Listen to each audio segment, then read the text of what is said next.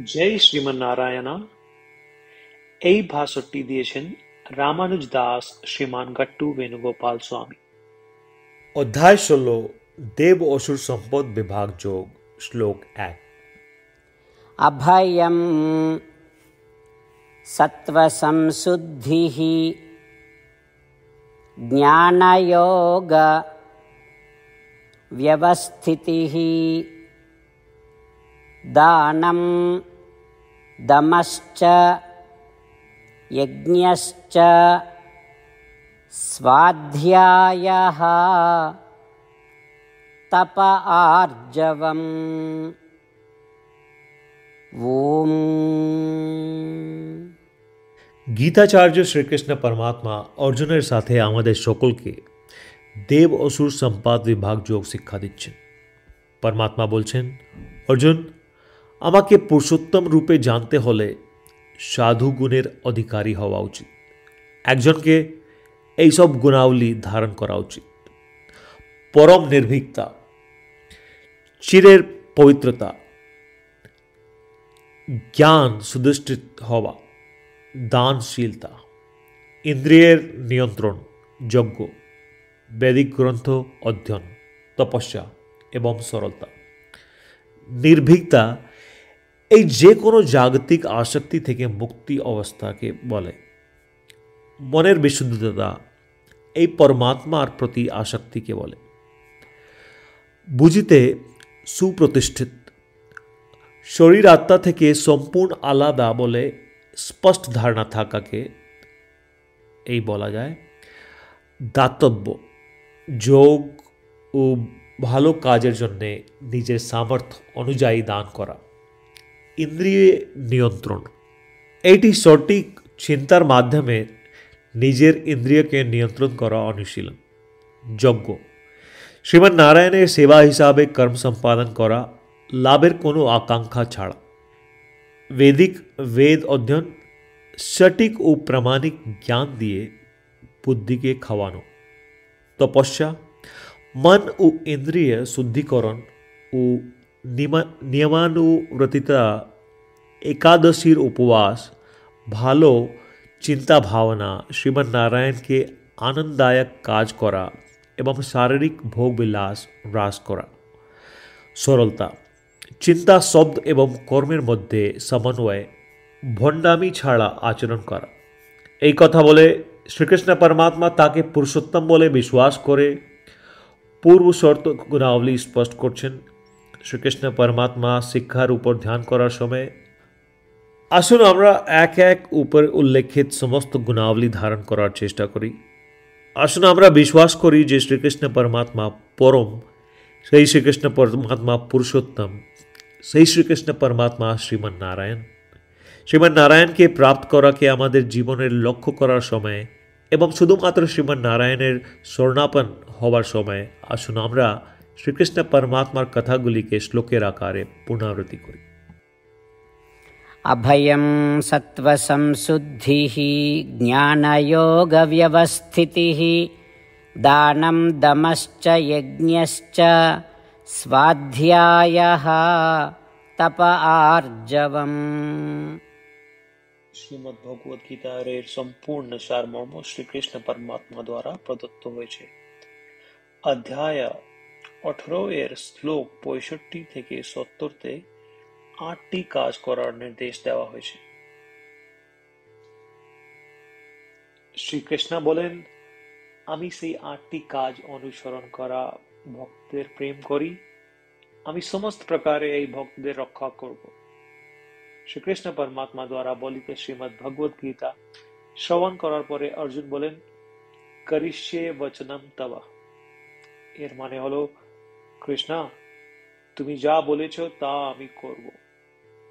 এই কারণেই শ্রীকৃষ্ণ অর্জুনকে সমস্ত প্রকারের সফলতা এবং জয় দান করেছেন। চলো, পরমাত্মার কাছে আমরা প্রতিজ্ঞা করি যে আমরা এই আটটি ক্রিয়াকলাপের পালন করব। পরমাত্মার কাছে এই বচনটি দেবার সে বড় কোনো পূজা, তপস বা যজ্ঞ আমি এই আটটি প্রতিজ্ঞা করব। আপনারা সবাই আপনাদের মনে এবং হৃদয়ে এই কথাগুলি ভাববেন। এভাবে আমরা শ্রীকৃষ্ণকে আমাদের বাণী প্রদান করি। আসুন, আমরা সকলে শ্রীকৃষ্ণের মুখ আনন্দে উদ্ভাসিত এবং আনন্দ অনুভব করি। জয় শ্রীমন নারায়ণ এইটি আমাদের আটটি প্রতিজ্ঞা। আমাদের প্রথম প্রতিজ্ঞা, হে শ্রীমন নারায়ণ যেমন তুমি নির্দেশ দিলে, আমি সর্বদা তোমার উপর ধ্যান এবং তোমার কথা চিন্তা করব। আমাদের দ্বিতীয় প্রতিজ্ঞা, হে শ্রীমান নারায়ণ যেমন তুমি পরামর্শ দিলে, আমি সর্বদা তোমার ভক্ত হব। আমাদের তৃতীয় প্রতিজ্ঞা, হে শ্রীমান নারায়ণ আমি আমার সমস্ত কর্ম তোমার সেবার জন্য এবং তোমার সন্তুষ্টিতে করব। আমাদের চতুর্থ প্রতিজ্ঞা, হে শ্রীমান নারায়ণ তোমার উপদেশ মোতাবেক আমি অনুসরণ করব। আমার বিশ্বাস আছে যে আমি শুধু তোমার, আমি সর্বদা হাত জোড়ে প্রণাম এবং তোমার পূজা করব। আমাদের পঞ্চম প্রতিজ্ঞা, হে শ্রীমান নারায়ণ আমি মনে করি, তোমার শব্দ মামেকম স্বর্ণম ব্রজ যেটি তুমি কেবল মাত্র তোমার উপর সমর্পণ করার বলেছ। শ্রীমান নারায়ণ আমি শুধুমাত্র তোমার উপর সমর্পণ করছি। আমাদের ষষ্ঠ প্রতিজ্ঞা, হে শ্রীমান নারায়ণ আমি মনে করি তোমার শব্দ মা সুচহ যা তুমি আমাদেরকে আশ্বাস দিয়েছ যে আমরা দুঃখী থাকব না, আমি আর দুঃখিত হব না। আমাদের সপ্তম প্রতিজ্ঞা।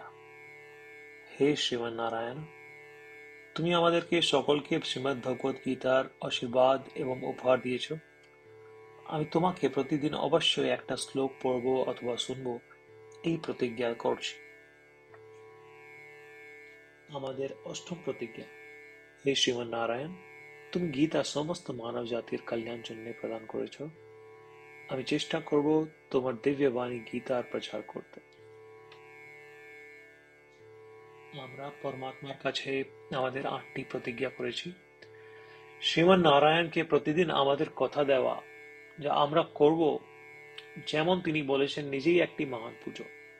চলো আমরা তাকে অটল বিশ্বাস সাথে আমাদের প্রতিজ্ঞা কুদি ও শ্রীমান নারায়ণ আমি তোমার বলা মতন করব, আমি তোমার ইচ্ছা মতন আচরণ করব এবং আমি কেবল মাত্র তোমার জন্যই কাজ করব শ্রীমান নারায়ণ করিষ্যে বচনম তবা এর মানে হলো শ্রীমান নারায়ণ আমি তোমার নির্দেশনা মোতাবেক আচরণ করব সর্বম শ্রীকৃষ্ণ অর্পণ মস্তু জয় শ্রীমান নারায়ণ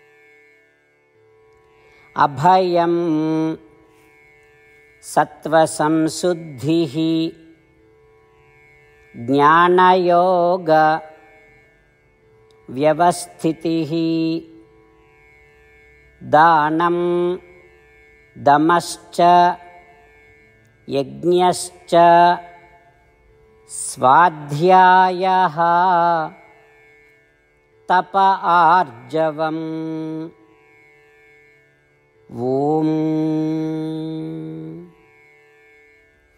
अभयं सत्त्वसंशुद्धिः ज्ञानयोगव्यवस्थितिः दानं दमश्च यज्ञश्च स्वाध्यायः तप आर्जवम् এই শ্রীমান নারায়ণা সকল ভক্তদের কাছে একটি বিশেষ অনুরোধ আমাদের জীবনের সমস্ত কিছুতে আমরা অবিলম্বে এবং কার্যকর ফলাফল চাই এই অর্জন করতে আসুন প্রতিদিন এক মিনিট বের করি এবং নারায়ণ অস্ত্রম পড়ি।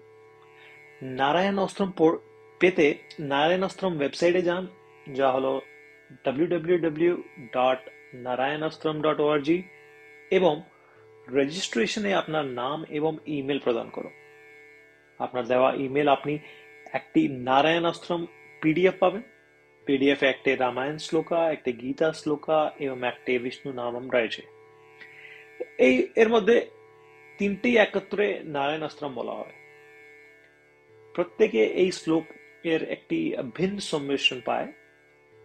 যখন প্রত্যেকে তাদের নারায়ণ আশ্রম পাঠ করে বা শোনে, চব্বিশ হাজার ভক্তদের সাথে এক রাউন্ড সমগ্র রামায়ণ পারায়ণ, তৈত্রিশ রাউন্ড শ্রীমদ ভগবদ গীতা পারায়ণ, চব্বিশ রাউন্ড বিষ্ণু সহস্র নাম বৃত্তান্ত সম্পন্ন হয় প্রতিদিন।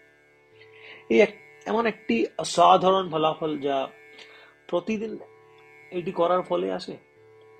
সেই জন্যে আপনি এবং আপনার পরিবারের সদস্যরা